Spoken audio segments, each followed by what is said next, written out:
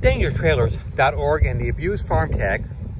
Now in Virginia, we have a personal property tax, which means that um, every vehicle is taxed every year at the value of the vehicle, which then helps fund police, schools, and the county budget. When you have this kind of pickup truck, this looks pretty good. It's a Super Duty, probably worth about 70 grand, having the farm tag. But here's the deal. He also has an illegal hitch. Now, people who have a farm know better, but maybe he doesn't. Maybe he's just falsifying his paperwork. Let me show you what the problem with the hitch is. The hitch is too small for the receiver. So I'm not gonna touch the hitch, but if he has a, a trailer attached to the hitch, in fact, he put a foam there, it bounces up and down, which creates stress on the hitch, which then breaks, the trailer goes off the highway, and the trailer hits people and kill people. So very clear, he knowingly put the hitch into the receiver, that's too small. The stress is gonna break the metal. He put a foam on the bottom. He's got the farm tag.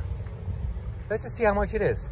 This vehicle is a Super Duty Power Stroke green E70 something.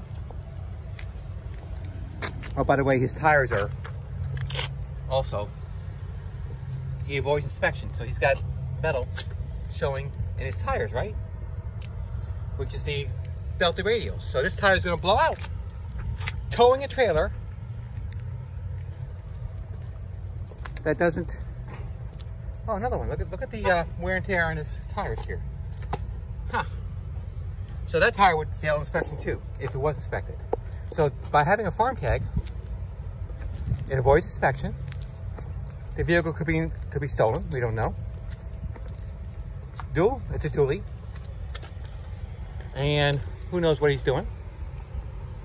And has an issue with the hitch. Do you see the point?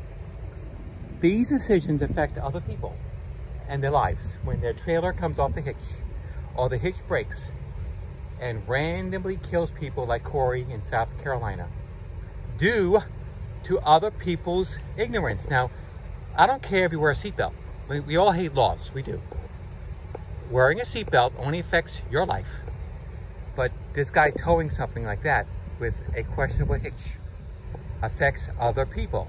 And that is what a law is supposed to address. Is it not? That's a good debate question. Is it not? DangerousTrailers.org.